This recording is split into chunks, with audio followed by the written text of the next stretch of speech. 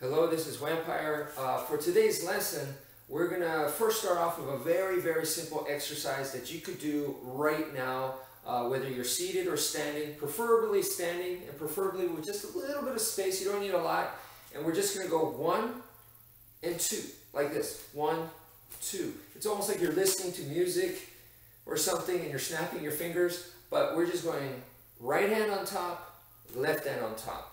One, two and put some force in there, get some exercise, and you should feel your arms, uh, you know, working your muscles. Once again, a very nice and simple exercise that comes from the heaven six type arm weaving type motions that we do, that we, we learn from and practice from with the sticks. Okay, and the explanation when I first started learning Filipino martial arts is I learned this technique actually with open hand and we're doing the same thing like this, and I learned it as a scissor technique. It was actually called a gunting, right? And, um, you know, I think what happened was they used it as a disarm. But what I would like to do is bring this technique back to more basic, where you and I, the average person can use, okay? So the more basic usage of this move is not as a disarm, because a disarm is an advanced thing to do. It's a very difficult thing to do. So I want to make that very clear. So instead of working on something that's so difficult and advanced, let's work on basics. So it's a basic usage of crossing your arms like this, right? This is can of course be used as a defense, as a block, right? But I'm going to call it an armor, all right? What's the difference between a block and an armor? A block is like, let's say someone's punching you and you're a boxer and you boom. You use your forearm to block something. Okay, that's a block. An armor is very similar, but you're blocking in order to get in close, to protect your body right here. So you block and you come in like this, okay?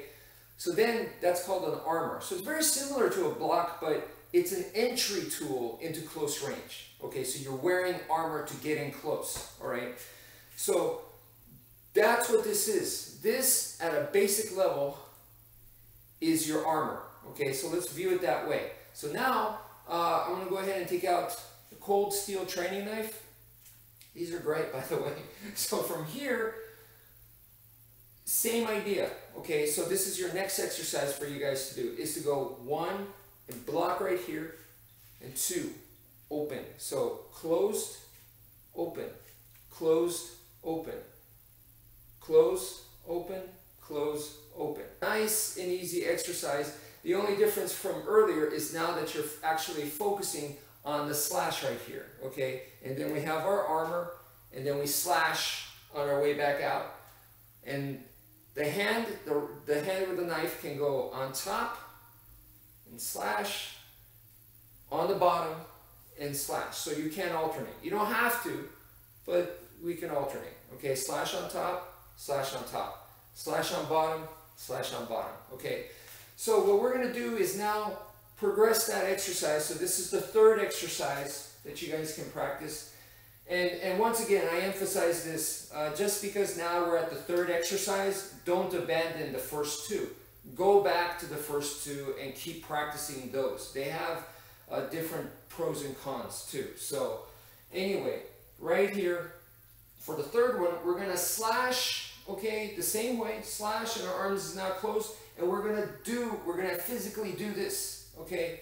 So you're going to slash, physically do the armor, and then slash out, okay? Slash armor, slash out. So now it's three movements instead of just two. So one, two, and three. One, two, and three. Slash, armor, slash. Slash, armor, slash slash armor slash slash armor slash, okay? And when you have something like this, this is just a simple stool. I'm gonna right here cut. This is where my armor comes in, and then I cut out. And at this point, of course, I could go into sewing machine, right?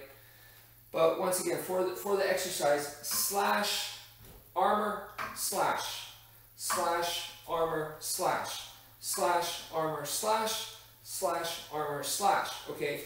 Now, those are the three exercises I wanted to show in the video today. Uh, and, and you might be wondering, why the heck are you, you slash, and then why, why are you coming in close? That might be the question, right? And that's a reasonable question. Why, why don't I just, because this is different from cutting and getting out like this. Cutting and getting out. The answer here is that if I can cut and keep my distance, this is an easy situation, right? It's not as difficult as if I have to cut and I got to get in close. This is a bad situation. This situation sucks, okay? Lots of bad things can happen here. This is dire. This is extreme. The reason why I'm here is because I obviously needed to. If I could just do this and get away, I would. Or if I could just run, I would, okay? But I want to work, be able to handle a bad situation. So a bad situation is going to require you to be here. Okay, so that's why we're working here. Um, it's it's kind of funny because if you look at the Native Americans, their knife fighting method and their tomahawk fighting methods, they understood that in real combat that you're going to get very very close. World War One, World War Two veterans understood that on the battlefield you're going to get close. Hence the word CQC, close quarters combat. The people that invented Eskrima and all the other traditional martial arts like traditional karate and whatnot, they all understood that in actual combat, you are going to get close. And that's what's going to happen. So we have techniques in Eskrima designed for close range because of that. Unfortunately, you know, in the modern era where a lot of the generation has not been in war, has not experienced that kind of stuff, we forget that. We totally, completely forgot that real combat, we're going to end up in close range. It's like it's not in our brain anymore.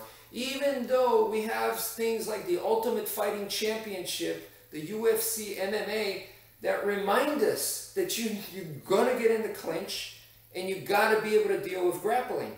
They're reminding us, but what do we do? We just go, oh, that's sport, that's not realistic. And, and it's a darn shame. So the, the thing to understand here is when you cut and you come here, this is the clinch. This is grappling, okay? My idea here is I'm going to stick to him like glue. That's my idea. So this right here, this is like a magnet. And this is going to be sticking. He's going to be shoving, pushing me. And I'm still going to like get back to him. He could shove me. I'm coming right back in with this. But I, I want to use this because if I don't, I don't want to just collide with the guy and bump chest or something because I'm not a big guy. My body's fragile, so I want to wear armor. So that that's what this that's what this is. For me to come in and neutralize, because if I stay out here, he might be a better boxer. He might be a better knife fighter than me. So I need to close the close in on my terms. Because if not, he's going to close in on his terms.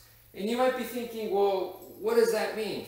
If he closes me, he, if he closes in on me on his terms, it's like he punched me and now he's changing levels and he's shooting in and getting me in a double leg takedown or something. And now he's going to get on top of me and punch my face in. I don't want that, right? If he has a knife, maybe he attacks my face and I'm going, whoa, that was close. And now he's coming in low and he's, he's coming in to grab me and here comes sewing machine, okay? So I don't want that. So what I'm gonna do is I'm gonna engage first and eliminate that from happening. So I'm going to come in here, so now he can't do that to me because this is my terms. I'm first. So boom, I blocked him up here, okay? So that's the idea of the armor. So anyway, I hope that makes some sense. Thank you for watching and take care folks.